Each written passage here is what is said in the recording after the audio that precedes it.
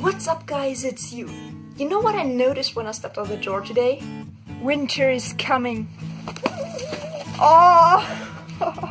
right, but I have a feeling that my hair doesn't look quite winterly enough.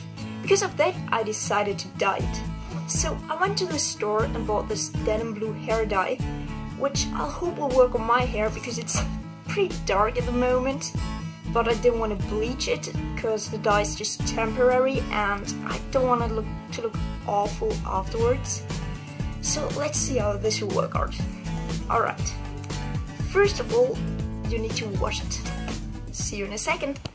Okay, let's get started.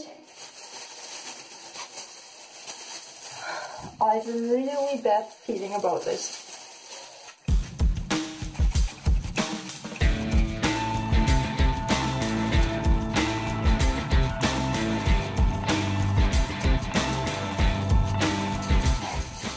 See, you see nothing.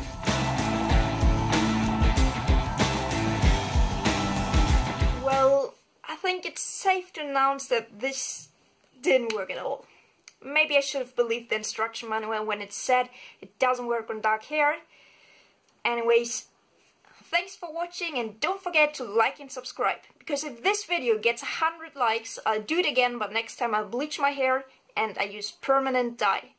So it's your choice. See you next time. There's one last thing I need to do before I end the video.